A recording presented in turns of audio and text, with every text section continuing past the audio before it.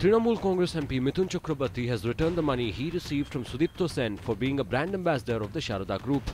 He sent a draft of rupees 1 crore 19 lakhs to Sharada firms that will be handed over to the Enforcement Directorate. चक्रवर्ती ने भेजा है ED को पास अ, जो draft जो वो आदमी जो प्रोफेशनल फ़ीस लिया था वो प्रोफेशनल फ़ीस वो वापस दे दिया जो गरीब का गरीब का पैसा है Mithun was earlier questioned by the Enforcement Directorate for having connections with the Sharada group of companies. He had denied his involvement in the chit fund scam and agreed to pay back the money.